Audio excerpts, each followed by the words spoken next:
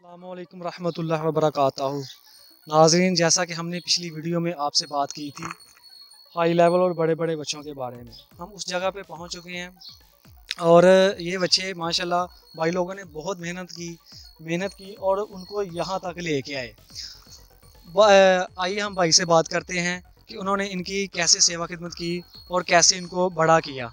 जी भैया भाई पठिया ने किया देसी खुराक। फ़ार्मिंग कोई नहीं है।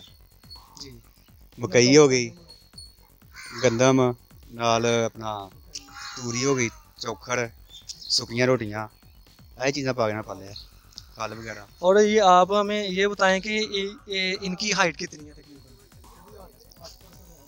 कितना ऊँचा है ये? ये हाँ जी ये आठ फुट होगा आठ फुट। साढ़े सात आठ फुट। आठ फुट के करीब ये बच्चा है। आप लोगों ने मे बी के कम जगहों पे ही देखा होगा देखा होगा लेकिन बहुत कम जगह पे देखा होगा कि भाई लोगों ने इतनी मेहनत की है आठ फुट आठ फुट का ये बच्चा है। और तो, भाई का नंबर भी हम आपकी स्क्रीन पे शो हो रहा है। आप भाई से कॉन्टेक्ट नंबर पे बात कर सकते हैं और ये बच्चा ले सकते हैं। ये इलाका भाई साहब ये बताएँगे ये इलाका? नारवल नारोवाल के पास गाँव है खान खासा। नारोवाल से तकरीबन 15 किलोमीटर की दूरी पे ये गाँव पाया जाता है।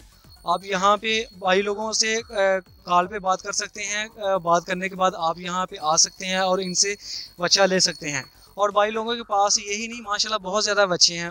भाई- भाईजान कितने बच्चे टोटल 35 टोटल पैंतीस। बच्चे हैं थर्टी फाइव और सबका वेट और हाइट वगैरह एक तकरीबन पाँच फुट तो लेके आठ फुट तक। पाँच फुट से लेके आठ फुट तक। पाँच फुट से लेके आठ फुट तक यानी कि डिफरेंट डिफरेंट कैटेगरीज के बच्चे पाए जाते हैं यहाँ पे। और जिनकी हाइट पाँच फुट से लेके आठ फुट तक है। अच्छा भाईजान आप ये बताएँ कि ये कौन सी नस्ल है?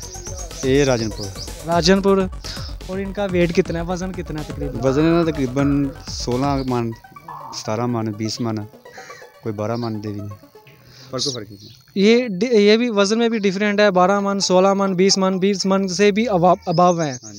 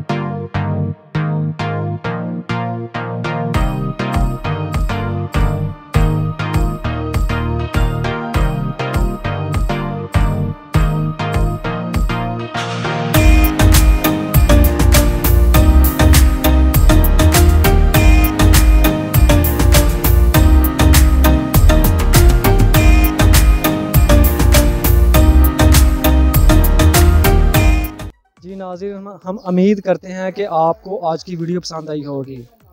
और ये वाकई नाकबिल यकीन है कि माशाल्लाह इतने इतने बड़े बच्चे जो बहुत हाइट पे आ रहे हैं।